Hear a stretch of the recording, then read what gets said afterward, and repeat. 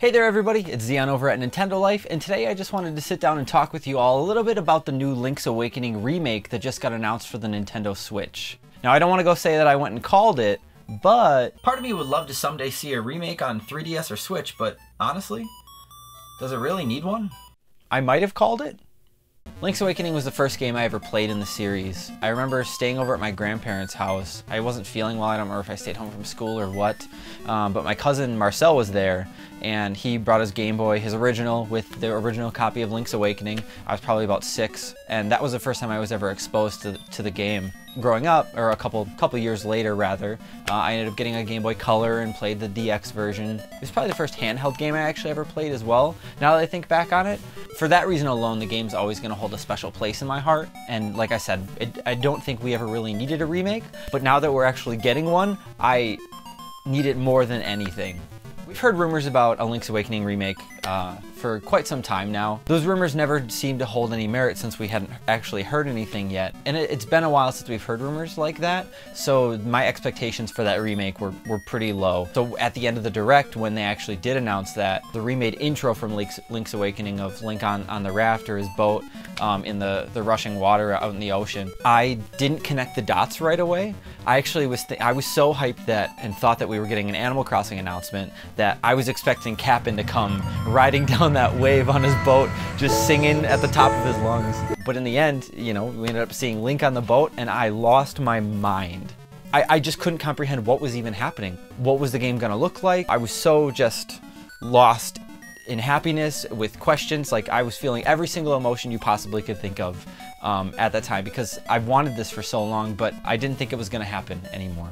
And then when the actual gameplay hit, my heart sunk because I, I wasn't necessarily in love with it at first. It wasn't what I was expecting the game to look like. Maybe I was expecting it more to look like a Link Between Worlds, but granted this is on the Switch, so it has it's much more powerful than the 3DS is. So in that regard, it, it somewhat shares some traits stylistically, but the whole kind of toy aesthetic that, that I feel that it, it has, I wasn't expecting that at all. So my, my smiles and and expression quickly faded away. But after sitting back down and, and looking at the gameplay more and uh, observing or, or, analyzing the screenshots, I feel a lot better about it. And going back and looking, you know, and seeing what the game looks like, because it's been years since I've truly sat down and played Link's Awakening. For example, how Link can take or gets photos taken, and if you look at those photos, they do look very similar, but that's kind of what the gameplay looks like. And at my first one of my first thoughts originally when I saw it was like, oh no, this is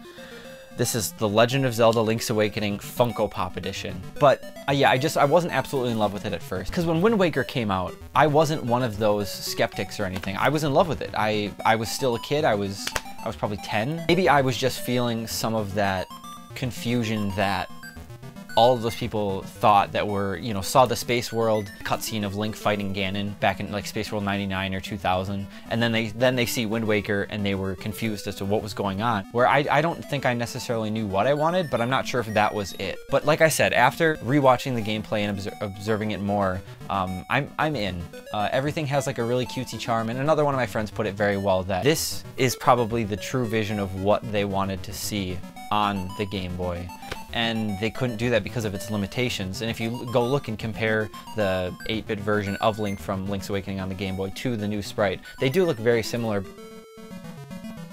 I'd really like to see the scenes with the photographer from Link's Awakening fleshed out a little more, maybe done in somewhat of like an animated art style like the intro was done. There's so much potential and it was done so well, and we've never really had something like that for Zelda. Like there were some Smash Bros animated videos a long time ago, besides the unforgettable 90, 80s, 90s cartoon, which we don't have to talk about that. Another thing I'm not really sure if I want or not is voice acting. I personally am one of the people that think that it was done well in Breath of the Wild. I played through the first time with English voice acting, and I've since beating the game, I've gone and changed it to Japanese, uh, and it, it's it's pretty solid. I know some people, though, that just aren't a fan of the voice acting, but I, I, think it does add to the overall experience, and not making Link talk is still a nice touch. The one thing I don't want with voice acting is to give the owl any vocal dialogue lines. Just make him hoot a little bit, and that'll be, that'll be just fine with me. I'm glad that they're sticking so close to the feel and the vision of the original as well, like still keeping the Goombas in there from the side-scrolling portions and the Bow Wow, or Bow Wow the Chain Chomp as well. Like some of those things are, I was curious if they would change them up to make them look more like they, they fit into the Zelda universe, but no, they, they kept them as true to Mario as they could.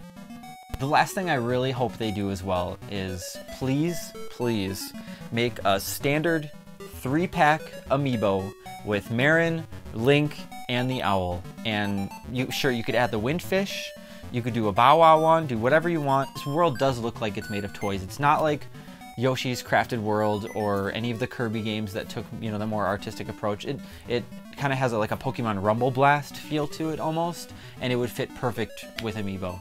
And just if you do make them, just make enough of them. Or let us pre-order them for a good solid couple months so that way you, you can get all the orders in and everybody can be happy because we all remember what happened with the 30th anniversary Zelda Amiibo. And I still don't have the Skyward Sword one.